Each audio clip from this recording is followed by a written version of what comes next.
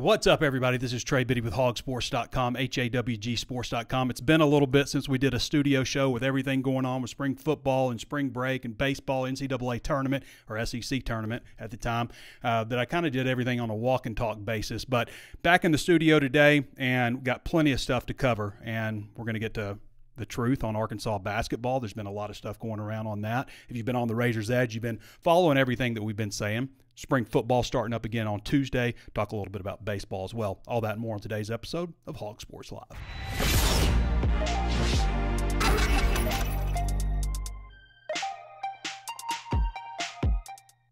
Plenty of ways to watch and listen to the show. You can always tune in on YouTube where we are streaming live. Be sure to follow the page if you haven't, or subscribe to the page, I guess, if you haven't done so, and set it to you where you're alerted anytime we upload new videos. Also available on Facebook Live. Follow the page there where we have 90,000 Razorback fans following us. Uh, Apple Podcasts, we'd love to have a five star review from you if you haven't taken time to do that. Uh, Spotify, Google Podcasts, anywhere else you can think of to find your favorite podcast. Hawg Sports is just $1 right now for your first month at hawgsports.com and 30% off if you want to sign up for an annual subscription. It's a great time to do so with so much going on with the transfer portal and so many rumors to confirm or shut down, spring football going on, and of course, we're back on the quiet period for recruiting and there's visitors coming in and stuff. We're going to have Danny West at the back end of the show to talk a little bit about the latest in Arkansas recruiting. So, for me personally, uh, just got back from spring break. I got an 11 year old daughter, so we do things like that. Uh, took her skiing, hurt my shoulder a little bit. I got to be honest with you. The medicine that I'm, I'm not, I don't react well to medicine, any kind of medicine, and uh, got my shoulder a little bit, rotator cuff coming off the lift, and uh, this medicine makes me a little jittery. So if I start going, then uh, that's just that's the medicine talking. But uh, I'm doing okay, getting a little bit better on the shoulder. Had a good time, went to Crested Butte. Still interacting on the message board, obviously. That's probably why you haven't seen me address a lot of stuff out here on YouTube or social media or anything like that, because I've just kind of kept everything focused on our VIP message board, the Razor's Edge.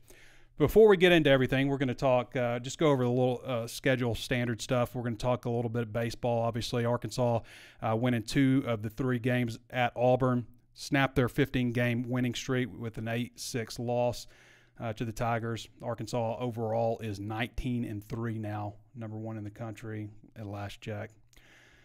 And Hagen Smith named SEC co pitcher of the week. Again, second time he's been named uh, pitcher, SEC pitcher of the week. He had in the 1 0 win on Thursday, he allowed three hits, two walks, 12 strikeouts on 87 pitches, 56 of which were strikes.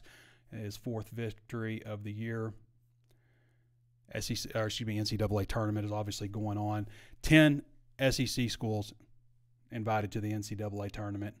Two remain. Two left in the Sweet 16. It was a bad first round, and um, second round, I guess. All you've got is Alabama, who plays North Carolina on Thursday. That is at 8:39 p.m. Central Daylight Time. Alabama is plus three and a half on the Bet Saracen app if you want to bet on any of the NCAA tournament games and stuff, then uh, there's just one way to do it in Arkansas. You use um, you got to use in-state services like Bet Saracen, which is the leader. So, and Tennessee faces Creighton at 9:09 p.m. Central Daylight Time on Friday. Tennessee is favored by two and a half points on the Bet Saracen app. Yep. I mean, there's all kinds of other bets on there. I was looking like they've got all kinds of prop bets, player bets. You know, you can bet the over under, obviously. You can bet the money line. A lot of different ways to do it on Bet Saracen. So, a lot of rumors going on with Eric Musselman in Arkansas. And, you know, I've always been told, like, if there was the right West Coast job opening up, then maybe that would be something that Musselman would consider. But, I mean, guys, I've got I've been doing this for 21 years and I've developed a lot of sources, okay? A lot of sources outside the program, inside the program, you know, basically on every level. I'm not going to like talk about it, but every level that you can think of that impacts the program, okay? Football, basketball, all that. Um, and this whole time when all this stuff's going on, Musselman, you know, Musselman uh, is in Chicago talking to DePaul Eric Musselman hadn't been to Chicago in 20 years. and it's it's just, some of this stuff is just ludic- like the SMU stuff. You know, I'm sure. Yes, there was some interest from SMU. Yes, I do believe that. Uh, as far as like stuff being reported out there that like he's been offered the job and all this stuff, just guys. I mean, stuff like rumors like that just hurt the program. I mean, same thing like with the love triangle, all that BS that people were putting out there. Um, it just it just negatively impacts the program. And like some people I've like seen people say stuff like, you know, Arkansas's got to address this. They need to put something out. Like they're not going to address salacious rumors like that. They're not going to address every coaching search you know whatever that comes out and you know coaches are out on the road Ruta, anthony Ruta's out on the road eric musselman's been out on the road um, you know, and it doesn't do any good to like have to address like that he's going to SM freaking U. Like, no disrespect to SMU, he's not going to SMU. Okay. Um, you know, and, and then all the talk about Louisville and stuff like that that's also been going around. I'm not saying that Musselman won't eventually leave. You know, no coach stays anywhere forever. Uh, but everything that I've been able to gather, like nobody could put Eric Musselman in Dallas at SMU. Like, and I'm talking like seven different people telling me this. Um, so we've been putting that out, and Connor Goodson has done a great job. Also, does our main basketball stuff at Hawg Sports about uh, making sure that the information is is accurate and and right on that regard. Again, I'm not saying the dominoes can't fall a certain way, and a certain job opens up that he's not interested in. Right? I'm not saying that. I'm just saying like the stuff that's been out there right now, just you know, like the DePaul one was and the SMU one. I mean, just like anyway, I just want to set the record straight on on that kind of stuff. And if you've been on the Razor's Edge, you've been on Hawg Sports, and you've been following along and getting good information on that. So Arkansas's basketball roster right now, which you've got six who ran out of eligibility. I believe that's right.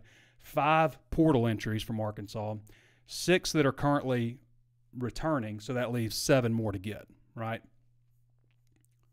when you've got you know the guy I say six returning, but you've got you know the incoming recruits and all that stuff. So including incoming recruits, you've got seven spots left to get. So let's see, who do they want? That's the big question, right? Um, so Connor Goodson again has done a great job keeping up with everything on the Arkansas basketball transfer portal live tracker. He's got them contacting like 42, 43 different players keeps up with everything about who's, you know, maybe Arkansas has contacted that is committed elsewhere, all of those types of things. And that's a free article. You can go check it out at Hawg Sports. Uh, we do know that Josh Cohen is scheduled to be in Fayetteville on an official visit this coming week. Um, that's the forward out of out of UMass. Let's see, let's look at his numbers real quick. So Josh is 6'10, 220. He's originally from New Jersey. Last season, he averaged 15.9 points per game, 6.8 rebounds, 1.7 assists, 0.9 steals. Uh, he is not like just like an explosive above the rim type of player. He's got a nice touch, got a nice shot, averaged 34.4% from three point range, pretty good for a 6'10, 220 post player. Um, yeah, so that's a guy to uh, obviously keep an eye on. I have not been able to find anybody else right now that they um, that they're bringing in. Uh, obviously, they're going to, but we do know that obviously, you know, they're looking for big men. Obviously, uh, Cohen 6'10", 220. Uh, there's been some talk about Malik Dia uh, having been visited by Arkansas. Uh, he's out of Belmont. He was formerly at Vanderbilt before that. 16.9 points per game, 5.8 rebounds, 1.2 assists. So maybe that's another guy to obviously keep an eye on. Tyrin Lawrence, who is at Vanderbilt, is obviously entered the transfer portal out of Monticello, Georgia. 13.8 points, 5.1 rebounds, um, 27.2% from three point range. And I will say this, and obviously they've got a lot of guys to get, but what I have, one of the things I've been told, obviously that, you know, they're after Biggs. Uh, they, they're, you know, going to lose a lot, obviously, this year. Uh, but they want a guy who's like an ace three point shooter. Like, you know, hopefully to go with Khalif Battle. That would be nice. But they want an ace three point shooter. So I'm going through, I'm looking at Connor's list and all the guys that they've contacted and stuff. And, you know, who's just like elite three point shooter. Maybe not just necessarily like ranked super high or something like that, but just period because I also know they want an elite point guard, but like just looking at this first category, who's an elite three point shooter? Um, you come across a guy like DeShayne, Montgomery out of Mount St. Mary's who shot 41.2% last year, uh, took a little over a couple of game. Um, Colby Rogers out of Wichita State shot 40.9% from three point range. These are both two guards, off guards. Uh, Ja'Kobi Gillespie out of Belmont. Obviously, there's the connection with Dia there, who, you know, there's been a lot of talk with him. Uh, shot almost 39% from three point range. And Arkansas brought in a lot of guys last year who were good three point shooters on paper, like, you know, 30 something percent, something like that. But like the guys who are just like buckets, guys that are shooting 40% plus. Um, you know, didn't really see a lot of those. And, and Battle, you know, is, a, is an extremely good three point shooter, obviously. Um, you know, and he shot a lot of like deep threes and stuff, but he wasn't even, you know, a 40% guy. But like just looking at a couple of guys that are, you know, in that kind of range. I also, I look at guys from, you know, inside the state, and you've got Kylen Milton out of UAPB who averaged, what, 17 points a game last year, 6.6 rebounds, 6'4, 192 guard. Uh, Cameron Hunter out of UCA, who is a junior, 6'3, 200 who averaged uh, almost 17 a game, 16.9 points a game last year. You know, those are kind of guys that, you know, you obviously look at guys from in state schools that, you know, might be intriguing to Arkansas. And then, as I mentioned, you've got guys like, um, you know, that you I, I, know that they want like an elite point guard, and you guys would say that, you know, obviously after last year, after this past season, um, you know, Kobe Johnson. I don't know that we have a report that they have contacted him. He's out of USC. Uh, but he's number three transfer portal player in the country. Kanaan Carlyle out of Stanford. There's been a lot of talk about him. Uh, number four transfer portal player in the country. And, you know, for point guard, like I'm just going through, like, you know, obviously know they want a 3.8, so who are the best, you know, percentage three point shooter. So I just kind of looked through that. And then, you know, obviously they want an elite point guard, so who are the top ranked point guards out there? Uh, Dug McDaniel out of Michigan. I don't remember seeing any kind of. Um, information there. I think JP Peggy Pegues out of uh, Furman was on the list of people that, that Arkansas had transfer uh, had contacted. A number 12 transfer portal player in the country. So Bensley Joseph out of uh, Miami, number 19 transfer portal player. I don't remember seeing his name on there of guys that they had contacted. Koren Johnson out of Washington, combo guard, 23 transfer portal player in the country. So anyway, just a few guys out there that Arkansas might be looking at. They're still recruiting guys in the class of 2025, of course. Um, building for the future. You wouldn't know it. You'd think, you know, uh, obviously, like all these jobs are coming up, they're leaving, but they seem very active. As I mentioned, uh, Anthony Ruta, uh, Eric Musselman have both been out on the road recruiting. Um, you know, they're bringing in uh, uh, Josh Cohen out of the uh, to visit this week out of the transfer portal. They'll be bringing in other guys. We mentioned the guys that they've been contacting. These are all things that coaches do. Obviously, you know, even if you're you, you were leaving, you know, you'd be doing stuff like this. But um, man, a lot of things that they're doing seems like things that you would be doing if you were. Uh, planning on being around at Arkansas. So, uh, what one source tells me is that either Eric Musselman is just trying to fool everybody or he's signing an extension with Arkansas. Uh, if you guys want to put a timetable on last time he signed an extension, which by the way made him top 10 money uh, in the country, uh, that was April 14th, a couple of years ago. So, you know, just because it's March 25th and he hasn't signed anything doesn't mean he's not going to. Again, that was April 14th the last contract that he signed, his which was his second, which made him top ten money. Um, Sadiq White Jr. It's a name that popped up a little bit before the show came out. He is named a top seven. He is out of North Carolina. He's the number one prospect in North Carolina, and there's not a North Carolina school on this list. LSU, Alabama, Arkansas, Syracuse, Georgetown, Texas, and Tennessee are the schools to watch there for Sadiq White Jr. He is the number 25 overall prospect in the country in the class of 2025, number six power forward, number one again in North Carolina. So, still recruiting for the future, still recruiting for next year and beyond uh, at Arkansas. So,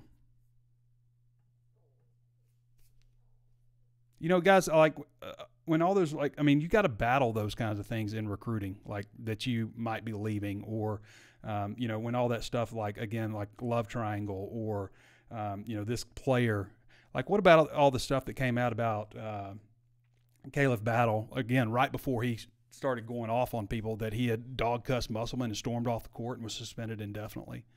Like, think about all the ridiculous rumors that came out this year. And none of it's helping Arkansas basketball. I've given my take on Eric Musselman before. Uh, I just think the guy is a stud. I think he's crazy in a good way. Um, he checks all the boxes, and he had a crappy year this year, and that happens sometimes. I would be stunned if he comes back, which again, I fully believe he's going to, unless the dominoes fall some kind of way and things change, which is possible. That kind of stuff happens. Job opens up you didn't know about. There was talk about Mick Cronin maybe being a possibility um, to wind up, I think it was it Louisville, which I mean, I think that's changed just recently also. But, you know, like if the UCLA job opened up or something, maybe that would make you go, okay, well, maybe that's something to keep an eye on. Um, but there's jobs like that everywhere. You know, if Kentucky opened up, you know, everybody who has a good coach is going to be like, oh, you know. Um, so that's just the nature of the business, and you keep your options open and stuff. But everything that I've learned is that Musselman is planning on being back at Arkansas next year. And I think that's obvious through all the stuff that we just talked about, the efforts that they're doing in recruiting.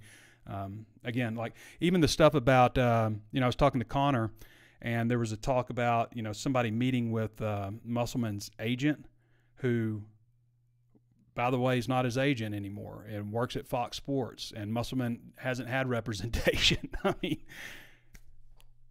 it's amazing some of the stuff that comes out. All right, I think we covered pretty much what I wanted to cover on Arkansas basketball. Again, if you'd been on the razor's edge following everything, then just saying, dollar right now for the first month. Come check us out. What do you got to lose for one dollar at Hawg Sports? And plus, you're going to get all of our spring coverage. And we just capped off spring break. The last practice I watched Arkansas hold was live tackle. It was glorious to watch. We haven't watched a full live tackle practice. I don't think since Pittman's been here, aside from like the red white game. So if you got some questions, get them in. I'm going to go over to the Razor's Edge because I know they got some questions for us there. But uh, just to go over the schedule real quick, today is Monday, the 25th of March, and you've got practice resuming at 8:25 a.m. on Tuesday, the 26th. It's a little wet outside, so I could see it being inside. Um, and then you go, you're going so you're going to go, and I outlined this a while back, but you're going to go Tuesday, Thursday, Saturday for the next three weeks. Except for that last week, you'll go Tuesday, Thursday, Friday, Saturday. That way they get all 15 in. So you got practice on the 26th, the 28th, and then third, the 30th on Saturday is practice eight. Now, that's a nine o'clock practice. That practice is going to be a scrimmage.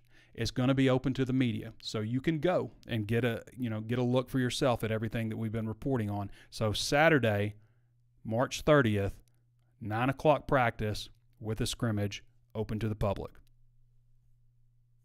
Okay, then they're going to come back on Tuesday, then uh, April 2nd, and that is an 8:25 a.m. practice.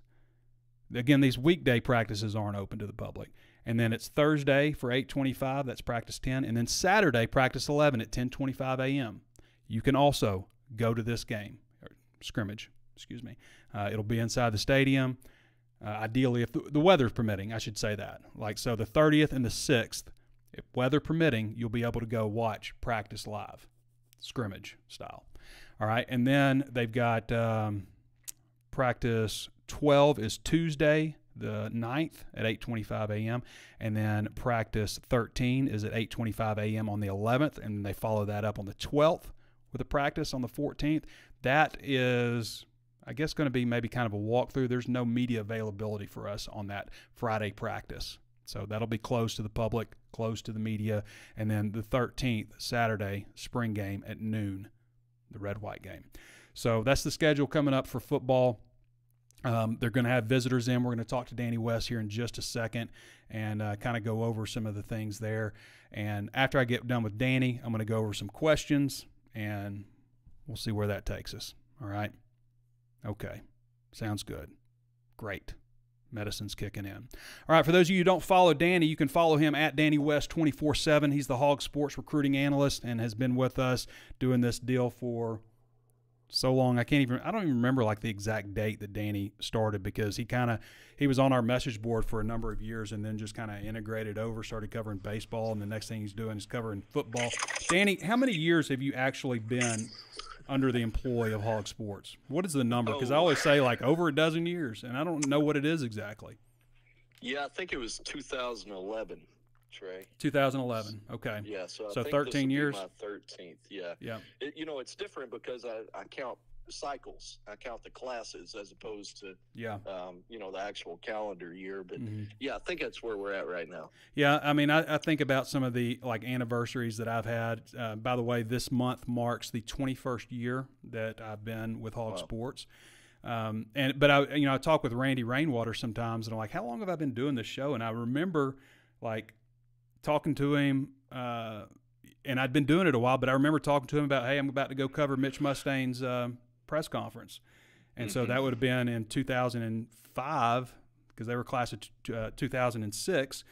Um, so, I mean, I've been doing that yeah. for, I mean, 18, 19 years or something. I mean, that's right. I know I joined as a paying member. I mm-hmm. joined your site in October of 2004. So, yeah, this will be my 20th year as, you know, on the board anyway. Yeah, yeah. We could certainly use another that's Another crazy. Danny West. Give me five well, Danny I'm West. Done. I'm, I'm done. Don't put that pressure on me. I'm done. so, Danny, obviously, we're in a quiet period right now, which means on-campus visitation between coaches and recruits. What uh, What's the latest? What's going on? Yeah, I just actually uh, have been filing out a few more today. Uh, coincidentally from California of all places. Just added three more visitors for this week, mm-hmm. all from the uh, uh, the Great West out there. We'll talk about Dre Garner first. He's a composite four star 2025 prospect. He's the kid, Trey, that if you'll remember, he came with Tay Lockett, the 2026 Arkansas commit, came mm-hmm. out to Fayetteville last spring for the spring game, I want to say.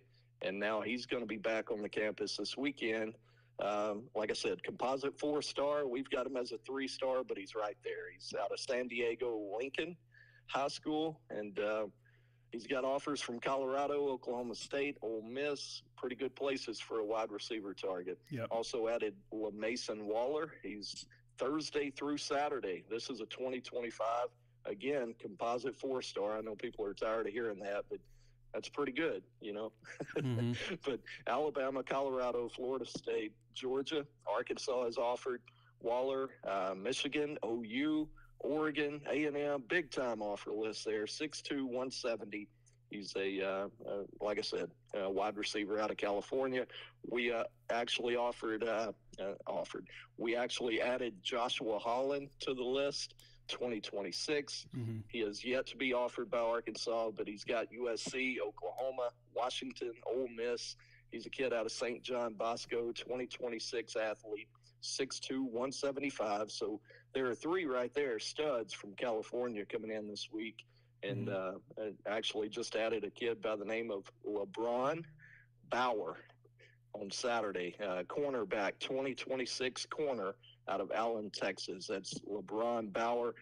Uh, LeBron's told me he's he's been trying to get here for over a year. I actually went back and looked at our messages earlier today, and I've been talking to this kid for over a year about mm-hmm. him trying to get to Arkansas. So he's got Texas Tech, Houston, Arizona State, I think, is on his list. So a few early ones there for the 2026 corner. Mm-hmm. And, uh, you know, I could keep going. We've got quite a list built as you've been away a little bit, it's been stacking up a little bit on Hawg Sports. So, yeah. uh, quite a few for uh, Saturday. They will have some in on Tuesday. Uh, mm-hmm. Uh, so, for tomorrow's practice, I probably should have started there. But Aiden Anding is a uh, 2025 three star cornerback out of Ruston, mm-hmm. Louisiana, 5'11, 165 number 52 cornerback nationally, which is pretty solid, actually. That, that puts you in striking distance at some point to eventually move up. But he's got Arkansas, uh, Baylor, Ole Miss, Miami, TCU.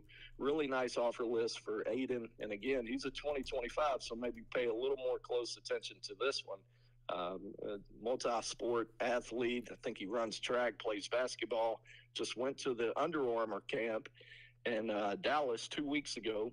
and won the MVP for defensive back. So Mhm. he's on his way up. And um, so if you look around at practice tomorrow, Trey, you might see Anding out there, 5'11, 165. And, you know, that's an area that we don't talk a whole lot about, not just Louisiana. I know things have, have gone a little bit quiet there for Arkansas, you know, over the last four or five years, but especially that northern half of Louisiana. We never talk about guys from there anymore. I think Yeah. Dave Davion Warren might have been the last one about 2017.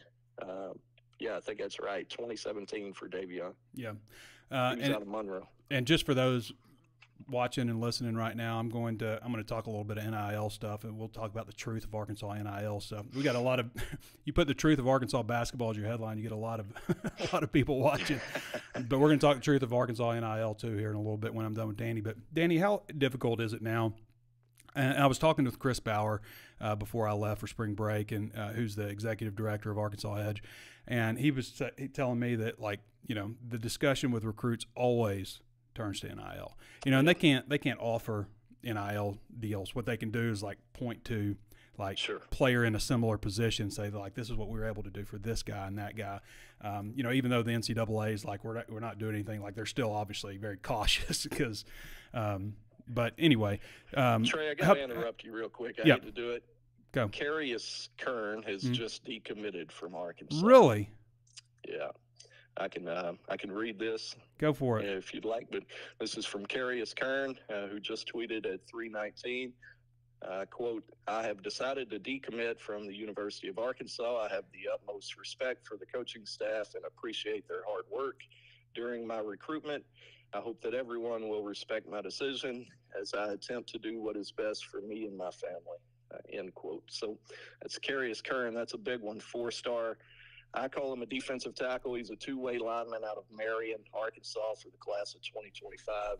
And um, evidently off the commitment list. So that one's going to sting them. I think they had dropped down to 30th with Carius, and uh, this probably puts you back below 35. So not ideal, Trey. Anyway, what were you saying about NIL? I thought he was 110 percent committed, Danny. Yeah, well, yeah, yeah. Yeah, I don't know. That's a, that's a tough one there. that's a tough one. Yeah. Uh, this guy's a stud.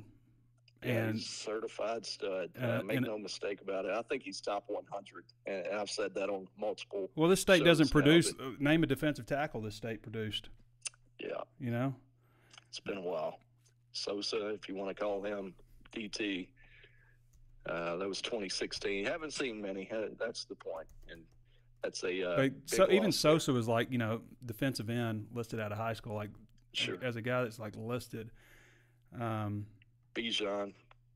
yeah, but you know, but like four star. You know, like Yeah, hmm. Yep. This just came out of nowhere. yeah. I mean, but that's the, in the age we live in. I mean, it all like NIL is the number one. Topic. NIL is the number one thing, and so, um, and maybe they can bring him in. Like Braylon Russell committed to Arkansas very early, and he's on campus right now. You know, and he he did committed from Arkansas, so it doesn't mean it's just over. Does he say anything in here about uh, about still considering Arkansas? I don't see No, that anything was at all. that was the full quote, but I, Yeah. I would imagine they're going to keep working on him. There's You- no you know, doubt. You know what's crazy about how uh, this kind of came out of nowhere when he committed. You know, I, I Mhm. remember he took a trip to Ole Miss, and uh, I want to say the very next weekend, maybe two weeks later, he went to Arkansas, and and uh, that visit, from what I was told, that visit went way better than the one he had just taken at Ole Miss. I'm not sure what happened at Oxford or or that anything happened at all, but my understanding was once he got to Fayetteville, it was like okay, uh, this is way different. This is home. Let's go ahead and lock it in. And so Yeah. here we are. Um, I don't know, uh, over a month later, almost two months later. I want to say February seventh was his commitment day, and here we are on the 25th of March, and he's off the commitment list. Yeah.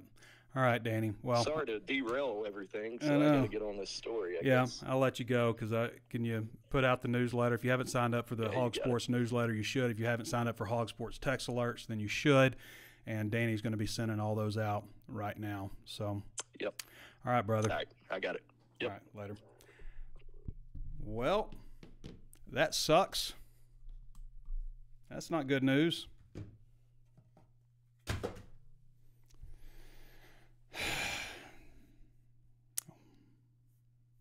I mean, Carius Curne is stud. Like, there's no good way to to talk about this other than this really stinks for Arkansas.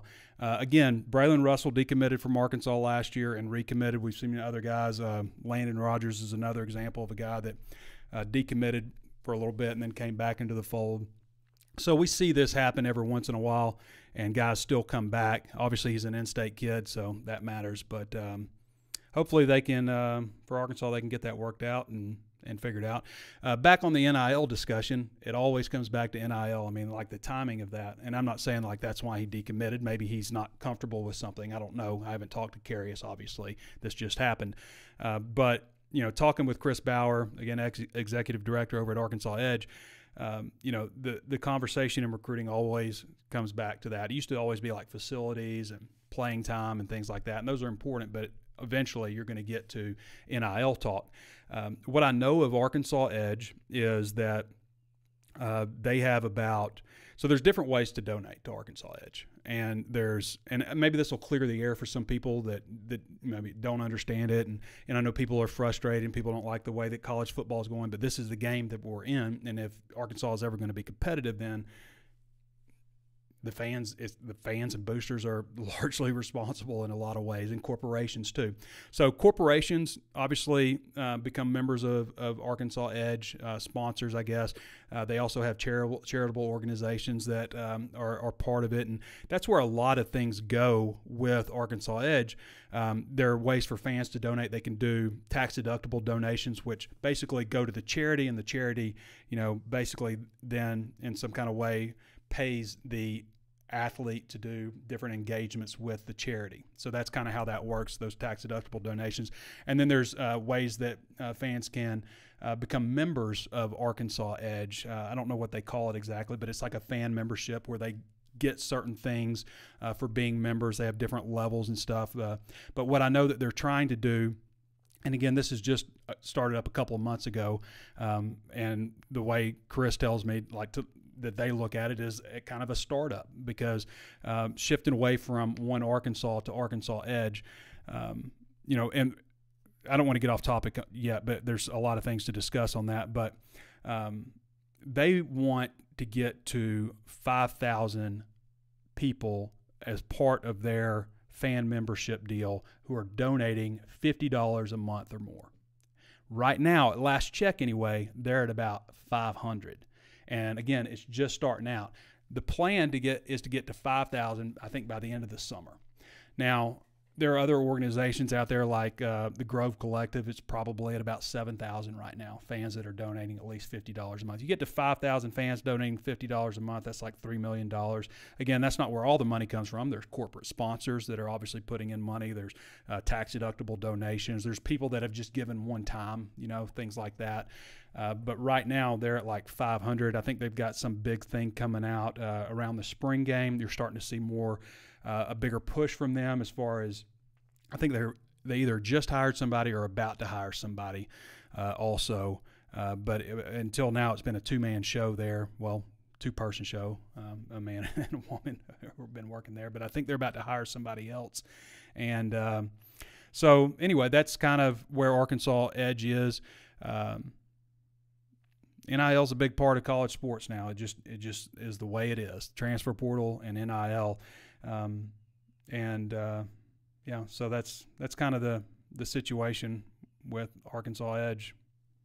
And you know, they do things a little bit differently. Like from what I gathered talking to him and, and talking to others, like NIL, NIL collectives are more worried now in a lot of ways about the IRS than they are about the NCAA. Not that the NCAA isn't, you know, something that they want to be compliant with also, but um, the IRS. And that's one reason I think you saw the transition from One Arkansas and how it's set up as a 501c3 and, and all that stuff. Um, but the shift from that to Arkansas Edge, which is run by Blueprint Sports, which is an outside organization. They do a lot of different ones. Penn State is one that, that is under Blueprint. Uh, but that's a big thing. Like when the IRS comes snooping around, they want to make sure that they're compliant. And there's going to be a lot of schools out there that are going to find out that you know maybe the hard way that they're not because the last thing you want to do is like have to pay all that money back, which, is what would happen. So um, that's been a big focus, I think, with a lot of uh, collectives recently, and shifting to that to make sure that they're uh, compliant. And there was, you know, there was a bit of a, a, hiccup with the transition, just like you would expect with anything, where uh, you know players you know, maybe weren't getting paid on the same schedule that they thought. I think in the past, like Arkansas operated on a 10 month payment schedule. There are schools that do six months, schools that do 12 months, just different types of uh, scheduled payouts. But uh, Arkansas Edge does theirs after the event has been accomplished. They use a an app called BasePath, I think is what it's called. But it keeps up with everything, like everything that they're responsible for doing, uh, everything that they've done, their direct deposits, all that kind of stuff is is is um, done through this app called BasePath, and um, but that's when you know athletes are paid at Arkansas now after the event's done. Like it, it, there's no more of this like somebody's gonna you know tweet something for a business and barely fulfill the obligations that they have and get like a check for fifty thousand dollars, you know, and just basically a money laundering deal or something. That's not what that's not what these collectives are uh, going to have to go for for because again, we're not talking like NCAA. We're talking we're talking IRS type stuff. So it's going to be everything documented very well um, and basically paid after the event has been completed. So that's kind of how they will structure things. Uh, from another source that I've spoken to, uh, you know, obviously a, a, couple of sources. I know, you know, there's a player on Arkansas that's getting, you know, position player that's getting like three hundred fifty thousand. Uh, there's another player that's getting four hundred thousand. You know, and I'm not sure like what the quarterback's getting, Taylen Green, but we know what quarterback talk has been, million bucks, stuff like that. Um, but from what I've t- been told from one source is like basically basically like scholarship players at Arkansas are earning somewhere around 40 grand, you know, bottom, at least 40 grand. Like if you're an in state walk on, um, maybe something like 15 grand. And, you know, obviously that helps supplement a lot for, um, you know, your scholarship and stuff. So um, I, I know one story of a recruit at Arkansas last year, not a recruit at Arkansas, a player at Arkansas who entered the transfer portal and visited another Power Five school outside the SEC.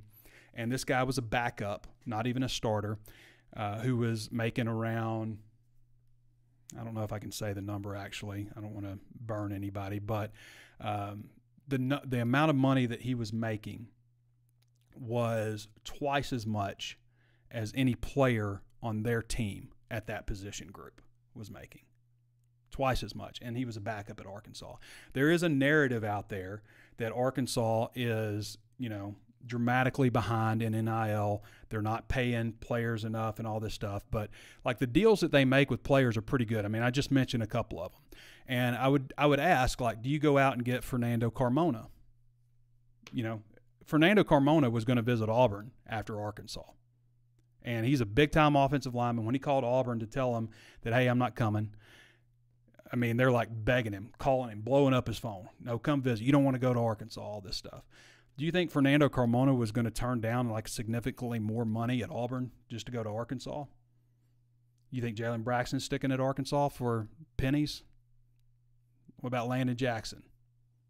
You think they got Selman Bridges, who was, you know, a big time recruit, Charleston Collins? You know, you think they got those guys just on, yeah, I want to go to Arkansas just because of that? No, they didn't. Um, so, yes, they have some work to do in NIL. Okay. Uh, the transition to Arkansas Edge is the right transition, I think. It's, I think it's the right transition.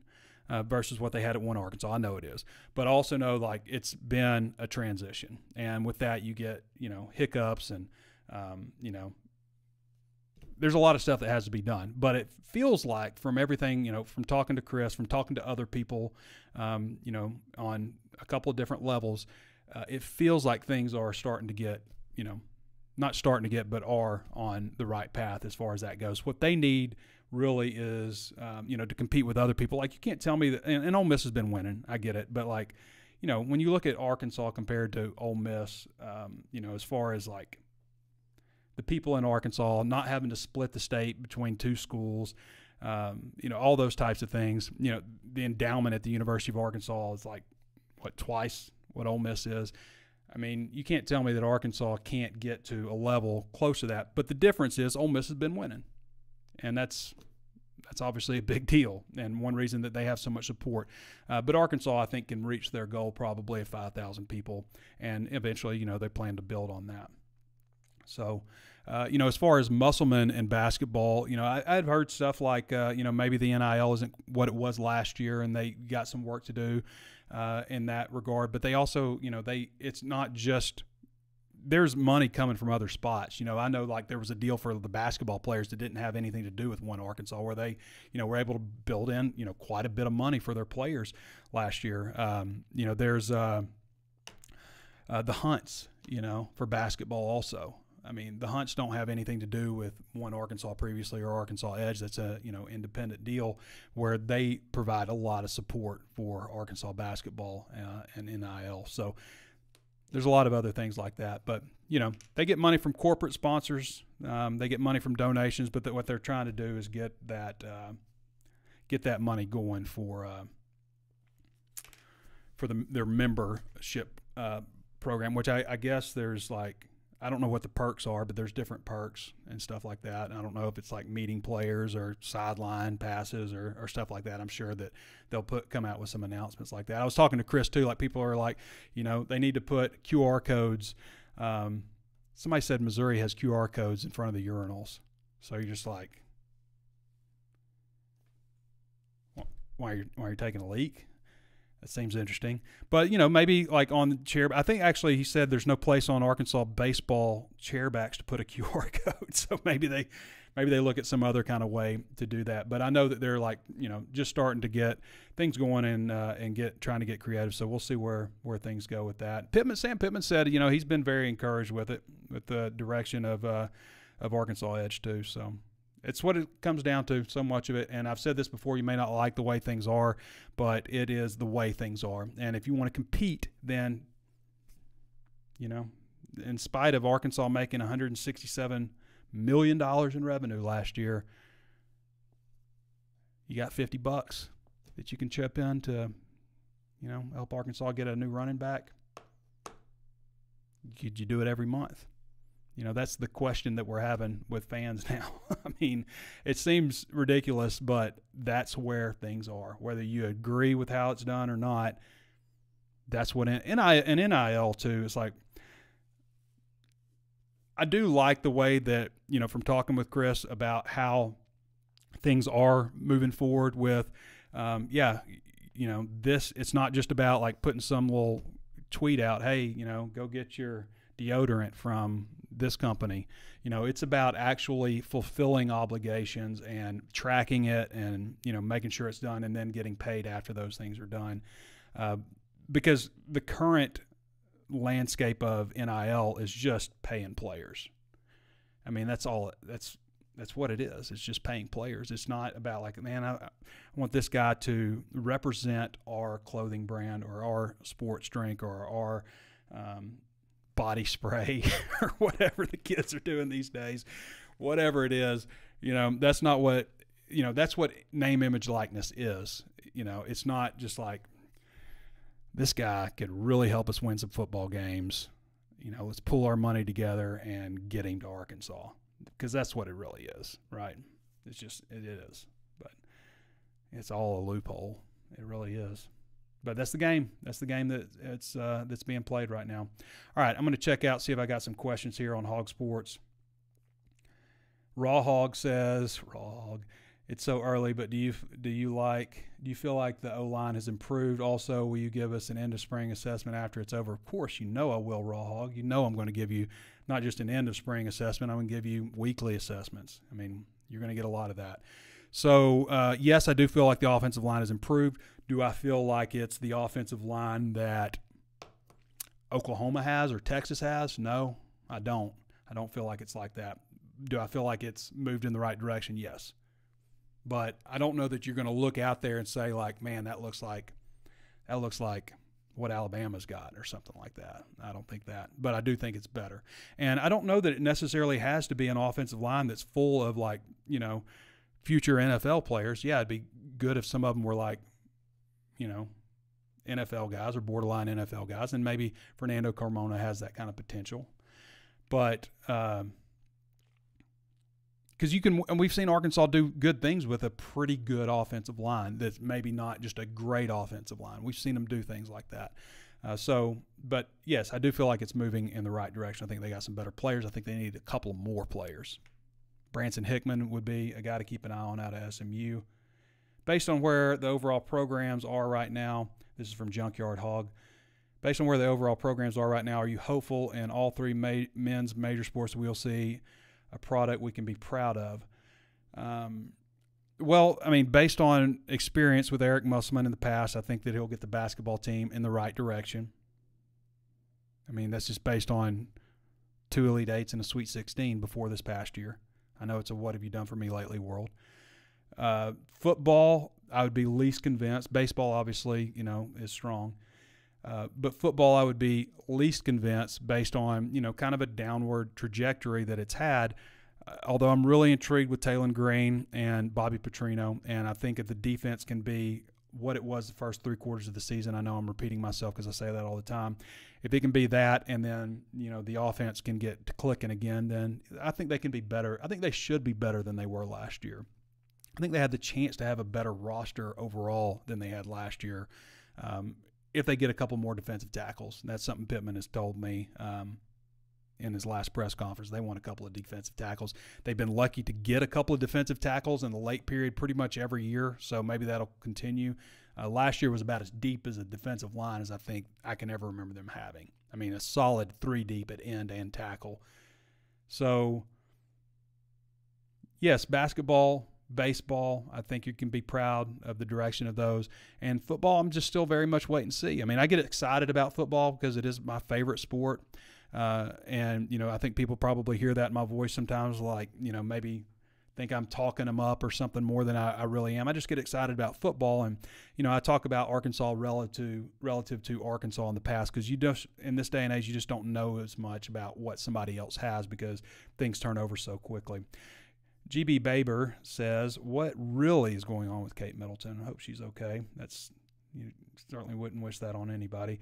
Mike RZ says, "Where do fans need to focus in order to feel validated on the football team, one way or the other? Where do they need to focus?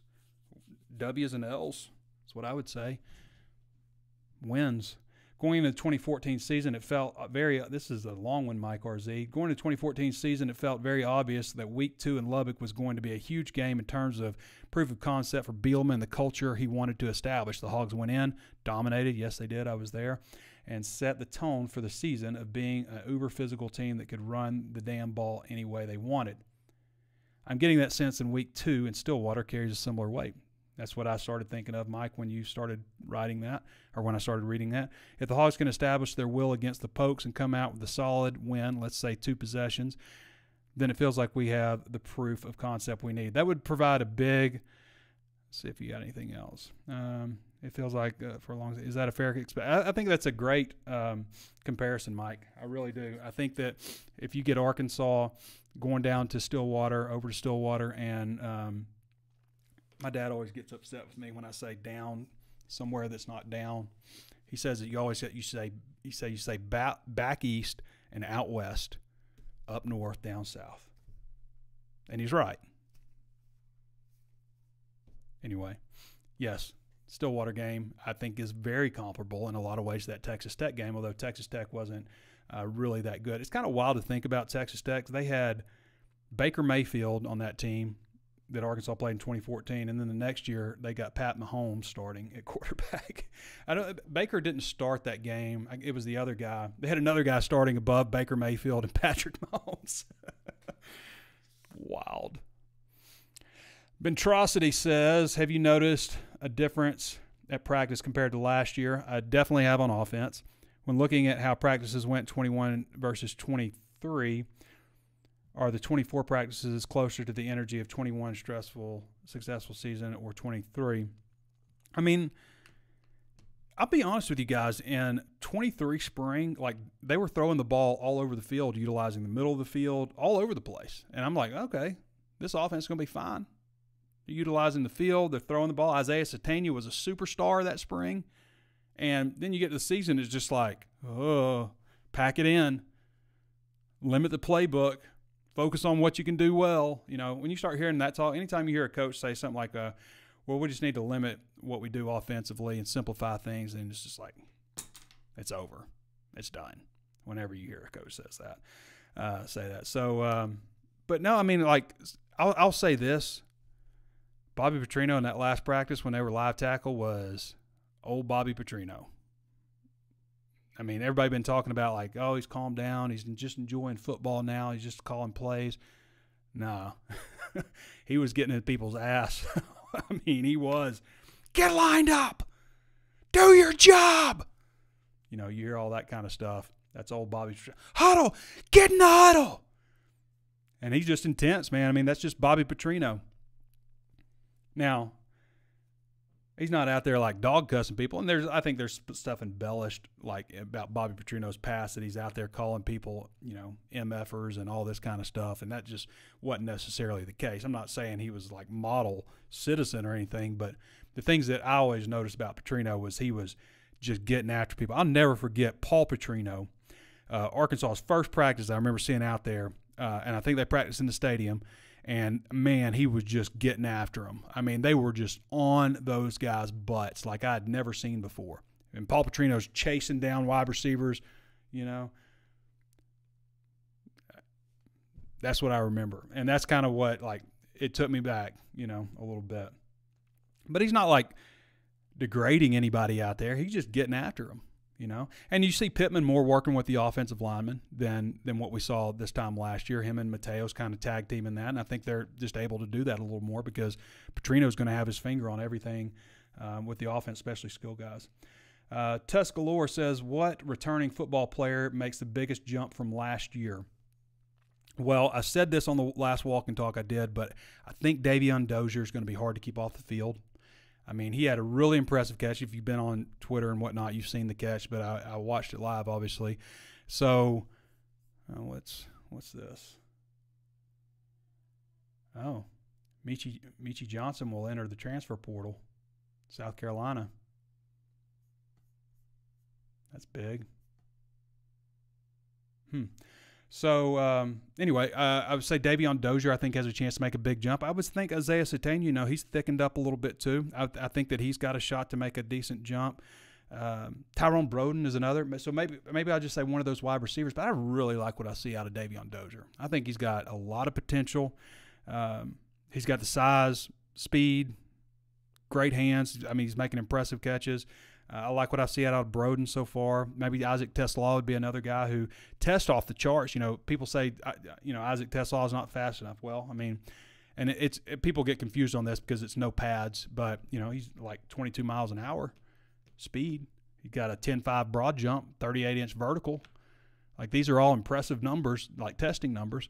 But I think he was really misused. And, and Broden too. Broden averaged like nine yards a catch, maybe less than that last year. And you know, the guy's six seven and super fast. So, you know, maybe we could see a big jump for him. But I would say um, if I'm picking a guy, maybe I say Dozier. I just think that like coming from a guy that was a true freshman who didn't really play much uh, to a guy who could really impact him next year um, and maybe be a surprise guy because the guy, you know, not talking about a whole lot. And the defensive side of the ball, you know, Quincy Rhodes jumps out to me, Andrew Ford. Um, Brad Spence, I think, has a, has potential to be a, a really good player for him too. So maybe Brad Spence on defense since he is an emerging guy, and Davion Dozier on offense. Excuse me. Most improved position group and position group that takes the biggest step back. Linebacker is a candidate, even though I named Brad Spence as a possibility. I just think they need more depth there. They need a veteran guy and I brought that up to Sam Pittman, and I was just, he kind of described a guy, and I was like, "You mean like an Antonio Grier?" And he's like, "Exactly." But a guy that's got some veteranness about him, a guy that maybe was uh, all AAC player like he was, um, who had 85 tackles in a year, you know, something like that. A guy that's just been a little bit. Um, you know, more veteran. So linebacker has the potential. I mean, defensive line guys, as much as I like, they're too deep, and I like it fine, uh, especially defensive tackle. But you know, you get an injury here and there, and you don't get somebody out of the transfer portal, that could be a little bit of an issue. You know, I mean, last year they had injuries on the at defensive tackle last year all year, but you didn't never notice it because they were so deep. So um, I might say linebacker position that takes a step back.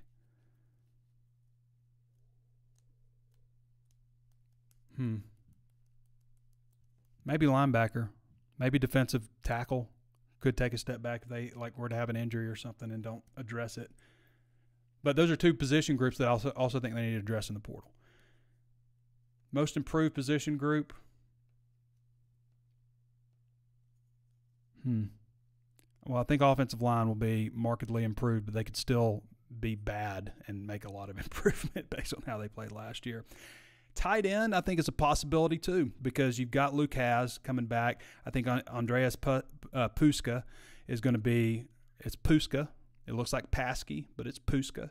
I think he's going to be a nice impact player. I think Var'Keyes Gumms looks so much more comfortable than he did last year uh, when he arrived in fall camp. He just looks so much better than he did. Uh, I did. I just did not think that the tight ends blocked very well at all, especially when you lose Luke and then Tyrus Washington, who is supposed to be back out there on Tuesday, who's been out. So I think they that tight end could be a really improved position group, um, offensive line also, and biggest step back. Maybe I'll go with uh, maybe I'll go with linebacker. Although I have some hopes for linebacker, but I, I don't like I don't like the numbers at linebacker right now. The numbers are actually good. They've got plenty of scholarship players. They're good, but I don't like seven of the nine guys when Wyatt Simmons and uh, Bradley Shaw come in, the two freshmen who aren't enrolled yet. Seven of the nine guys are first or second year players, and the two older players are Caden Henley, who hasn't played he hasn't played a snap. Uh, and he's a redshirt sophomore, and then Xavian Sorey, who transferred from Georgia, had 19 tackles for him last year. So I mean, I, I think they have a chance to be good, but I also thought that maybe there was a chance the offensive line could be good. You know, there's some hope there, and we want to get away from hope. That's the thing about the transfer portal. You can get away from hope. You don't need hope. You can just go out and address. Teams right now are built a lot differently than they were five years ago. People have heard me say that, like, you know, this team would have taken, you know, a team, you know, and basically for everybody, like, would have taken their same team from five years earlier in a lot of cases. I mean, there's programs like Georgia and stuff that, you know, don't rely as much on the transfer portal as some others do. They just do it through recruiting. But like a lot of the teams out there, like middle tier, lower tier programs, um, you, you line them up against, you know, a good team that they had five, six, seven years ago, and these teams would beat them because they're not relying on a true freshman for depth. Um, it used to be okay to have, uh, you know, you had a two deep at the defensive line. You're like, hey, that's pretty good. They got a two deep. And now you can easily, you can definitely, not easily, it's hard to go get those players. Don't misunderstand me, but you can go out and get a three deep like they had last year on the defensive line. They had a quality three deep on the defensive line. Um, there's no need now to say, okay, you know, our third team guys are freshmen. And that's kind of where they are right now in defensive end. They're talented, Charleston Collin, Kavion Henderson, but they're still freshmen. And freshman defensive ends get buckled by running backs and offensive tackles in the run game. They just do. You know, they're uh, in most cases they're going to be situational guys. Um, but I think Charles Collins, Kavion Henderson have bright futures, but there's also room for maybe somebody who's a little more veteran there. Uh, MHM Ho Hodage 20 pretty much asked the same question. What position group are you most concerned about? I think I pretty much answered that. All right, everybody. Hope we had a good show today. I think we covered a lot of stuff. We certainly had a lot of people watching today. Let's see if there's anything that jumps out here in the chat. We're almost at an hour, so. Um, I don't see anything that just jumps out too much. Appreciate some of the kind words. Yeah. Uh, Todd P says Trey football looking better for real or no? I think they're looking better, but I'm not saying that means they're going to go out and win eight games. You know, I think that Pittman needs to win next year. I don't know that like just sliding into a bowl game is quite going to cut it. Yeah. All right, everybody. We uh, we endured some bad news during the uh, during the show with Carius Curne decommitting. We covered NIL. We set the record straight on Arkansas basketball. And I think we did what we were supposed to do today. This is why we have the show to inform. Go sign up at Hawg Sports, guys. It's a dollar right now for your first month at hawgsports.com. I'm like, why are you not subscribed to Hawg Sports? Like, if you wanted all this stuff a couple weeks ago or all last week and stuff, then you know engage on our message board. One of the most active message boards in the entire country, the Razor's Edge Premium Forum. Go check us out over there. Check out all the things that we've got to offer at Hawg Sports, our content, all the recruiting information, crystal ball features. Um, it's a lot, and we offer it for a dollar for the first month because that's how we get you. We get you through the door. You think you got everything. You know, you're going scouring the internet, combing through all the crap you know, we used to cut through the crap for you, but now you've got social media, Twitter, and all that stuff, and it's great. And I don't put all our stuff out on Twitter because I don't work for Twitter. I don't work for Elon Musk, uh, but we put out our free stuff on on Twitter. But like, if you want all of our inside analysis and VIP content, then go check us out at hawgsports.com. One dollar for the first month. That's how we get you.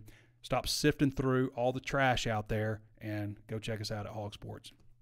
All right, everybody. I think we did it. Thanks to Danny West for hopping on to it, hopping on with us, um, even though he had uh, disappointing news. Did the newsletter go out? Yep. Marion Ark, four star. Lyman Carius Curne is decommitted from the Razorbacks. You guys go check out um, the newsletter, uh, Hawg Sport, or not the newsletter, but the uh, the text alerts at Hawg Sports. Uh, you can go. Let me tell you where to go real quick. It's a free service that we offer. Okay and we're not going to spam you with a bunch of stuff. We're just going to put breaking news. We'll link back to the article. It's just going to be breaking news. So you go to Hawg Sports. If you're on desktop, let's see if we're on mobile because I think it's like 75% of you guys are on mobile. But you go to Hawg Sports and you just scroll down, scroll down to the page, and you'll see where it says, um, well, there's a newsletter and where are text alerts? Because I'm not seeing it on my phone. Oh, there it is. Oh, it's under quick links. So if you scroll down to the right under quick links, uh, you'll see breaking news text alerts. And you just go there and you enter your phone number, and we're going to send you breaking news text alerts so you can know for your buddy. Pretty good deal. And right below that on quick links is Arkansas Daily email newsletter. So on newsletter, we're going to send mostly free content. And free content for us is like stuff that comes out of press conferences you know, a schedule release, stuff that other sites are going to have also. We're just going to take a piece of that. Maybe you, maybe there'll be an ad just like anywhere else on the page and um, you know, you get to read the article. So, um, but we're going to send most of our free stuff. We might sprinkle in a couple of clearly marked VIP content uh, in with that newsletter, but that'll just go to your email inbox. We usually send one out every morning, and along with breaking news, if there's breaking news, then we'll send a newsletter out with that. But uh, also the text alerts. I mean, that's just just a great feature. Like you should have the text alerts. It's an easy, free feature that we offer. Um, we're just going to put like the headline of what happened and link back to the article. You click it, and boom, you're at the article. We're not going to spam you with a bunch of stuff, so don't worry about that. You're not going to get like advertisements or stuff like that. You're just going to get Hawg Sports News. Fair? Fair. Go sign up for that. Sign up for a dollar for first month at Hawg Sports, H-A-W-G-Sports.com. All right, everybody. Thanks to Danny West for hopping on. Appreciate all you guys and your questions. Thanks to our VIP subscribers. And thanks to our free users, too. Couldn't do it without you either. All right, everybody. This has been Trey Biddy with HawgSports.com, and we'll catch you next time.